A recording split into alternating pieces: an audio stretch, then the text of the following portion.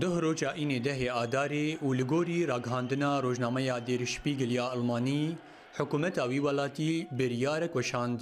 û tê de eşkere kir ku nabe alî girên Partiya Karkerên Kurdistanê pkk di heyama xwepîşandanên xwe de wêneyên serokê partiyê Abdullah Ocalan û sî û sê dirûşme û sombilên girêdayî wê partiyê hildin. Li gorî rojnameyê biryara qedexekirina wêneyên serokê PKK'ê û Sunbilên wê hat, piştî ku wezîrê navxweyî Elmanî reşnivîsek ji pênc pelikan bo hemû welayet û hêzên ewlehî li Elmanya şand û eşkere kir ku di nav wan du reşmeyan de ala Yekîneyên Parastina Gel YPG jî heye. Di heman demê de û li gorî çêderekî ji Wezareta Navxweyî Elmanî, armanca weşandina wê biryarê di dema niha de ew e, Ku çalakiyê pkk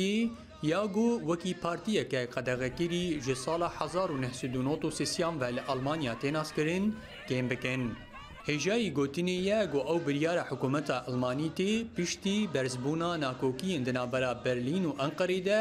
Her wisa û li ser heman mijarê Encûmena Niştimanî Kurd li Sûriyê Enegesî dilxweşiya xwe bo biryara Elmanî nîşan da û doz kir ku ew biryar li hemû welatên Ewropa bê bikaranîn.